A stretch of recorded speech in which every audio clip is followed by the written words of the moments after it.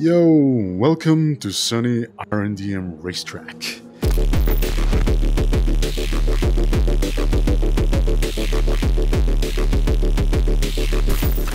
I built this place because I have something new for you today. I'm starting a new series and it's not specifically about Rec Room. If you're here because of a game called Assetto Corsa Competizione, uh, I'm inside this other video game that is played in virtual reality called Rec Room, where we get to build our own worlds and you know play with other people. It's a very social experience, but also very design oriented, very creative place. So anyway, I'm here inside Rec Room and I built this RNDM racetrack um, because I want to talk about not Rec Room, but Assetto Corsa Competizione. So this other game, ACC, people call it for short, is a racing simulator. So it's not like Gran Turismo or Forza or something like that where you can play with a controller. I mean, you can, you know, but in these other games, people, you know, like myself, we have like nice little steering wheel with little pedals and stuff, and we go around, and you know, people try to make it as realistic as possible. And ACC is one where basically you have a very limited, very specific kind of car, which are GT cars. We have GT3, which is the biggest one in the game. There's also now GT2 and GT4. GT2 are a bit faster, GT4 a bit slower. But anyway, GT3, we're gonna concentrate on GT3, like this Porsche back here, this uh, GT3 car.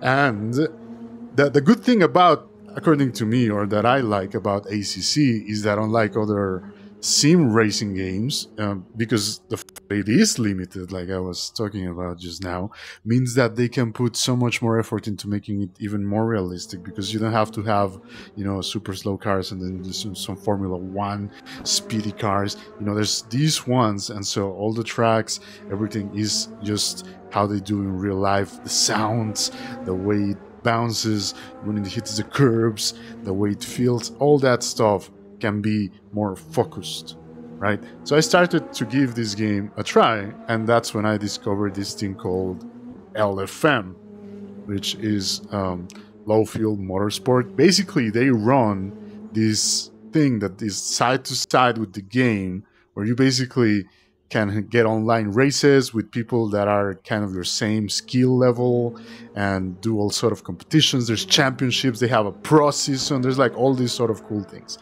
but to get into it, besides owning the game, obviously, you need to get a license, right? And the way to get a license is every so often, every new season, they'll have this specific track. You join their server, you do a few laps without, you know, invalidating them. For somebody out there that doesn't know what that means in racing, is going off tracks. So, you know, crashing or going out the white lines on the side of the road or any, anything that will invalidate your lap in the in the race will basically you have to start over again. So you do seven laps that are valid laps. And the other thing is that you have to be i think it's 107% maximum of the average for the racetrack i think. So that means that you have to you, you cannot just go super slow and then be like oh yeah seven valid laps. That's super easy if I go super slow. No, you have to have kind of like a, a hot lap or an average speed. I think I don't know exactly. Uh, I'm fairly new to this, so this is the series. Welcome to the series of me trying to figure out how to get into LFM. Um, so the racetrack is a racetrack called Paul Ricard. Uh, this time, which is is, is, is a tough one. It's a tough one because it has like very long, very uh, slowish corners and then very fast straights. Um, it's very tricky, and so I've only been playing it for a couple days, but I wanted to make this video uh, before so I can kind of keep track of my progress as I, you know, go through all these process and, and figure out and hopefully get better. Hopefully get better. Give me tips if you guys see anything. Uh, put it in the comments. Just you know, I, I would appreciate all the help you guys can give me from experiencing racers to anybody who's like me who's just getting into the sim racing thing and want some tips from another newbie. Uh, you know, just drop it down there and I'll be super happy to answer. Or to listen to your advice. Um, but anyway, so I wanted to keep track of my progress, and this is my first uh, video of me going around track. So I had to choose car first, and I went with the Ferrari 296 GT3 because I love how it looks. Because I was advised, um, uh, see it being a really rookie-friendly car. Um, and one thing that I did here was, you know, focus on one car, learn that one car, learn how it behaves, learn how it goes around the corners, how your setup will change it, how it will affect it, how all these variables, you know, but one variable doesn't change the car. You keep um, changing from car to car to car to car to car. You're just making it harder on yourself because every time is going to be different. So you're going to have to learn from scratch again. But if you stick to one car, um, then you can, you know, really develop your skills in, in, a, in a better, proper, faster manner hopefully. So I'm using the Ferrari um, 296 GT3, lovely car. And I obviously practiced on this Paul Ricard for a couple days, just for a couple hours, so so not that long. I, I decided, okay, you know what, I'm gonna grab my fastest lap. Um, my average right now, I think, is 204, two minutes four seconds, two minutes five seconds, something like that.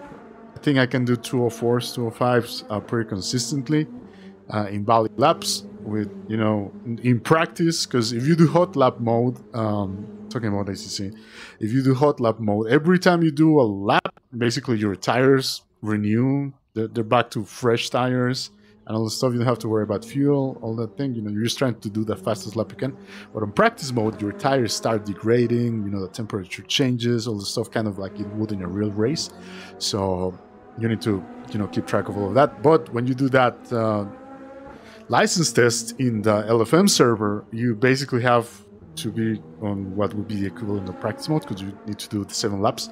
So I decided to do this on practice mode. After a few laps, I got a 202, which again, on, only after a couple hours of practice, is my fastest lap so far. From what I've heard uh, from someone else, they said they got an average of 158 and they got their license. And somebody uh, that has uh, on posted online said that you needed 152, 153, something like that. So that I mean that like 10 seconds faster than me. That, that that's a lot.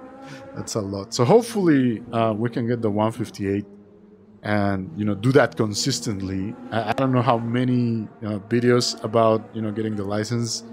Uh, it will take me to actually hopefully get the license at some point. I still can't even try because we can talk about that uh, in depth maybe later on the next video but there's some safety ratings and and this sort of other things that are already in acc and they require you to have a safety rating of 80 but i haven't played that many races. I've been just doing practice and hot laps a lot uh, just for fun. So my safety rating is still pretty low because i just unlocked it like literally like one day um, i have it unlocked. Um, so you need i think 80 if I need to play some more um, races against AI or online races inside the game that are not LFM to get that up, and then I can actually, you know, try to get my license. So hopefully by then, by the time I get my safety rating to 80, I will, you know, be more used to to this Ferrari. I, I will be doing, you know, faster laps more consistently and valid laps all the time and all that stuff. So, but again, for today, um, after all this lengthy explanation, which if, if you love racing, do come back because this is going to be a wild ride, I assure you.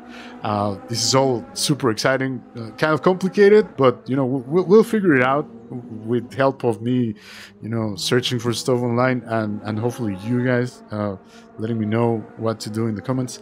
Um, I'm sure we'll figure it out. So I'll leave you now with my 202 lap around Paul Ricard in the Ferrari 296 GT3. We'll do the cockpit view so you can see the, the steering wheel and everything. And uh, yeah, let, let me know what you guys think about this new series. Um, we'll we'll keep combining Rec Room and racing and this and that. And I don't know, this is gonna be uh, something new and different. And I hope you like it. Now let's go get that lap time.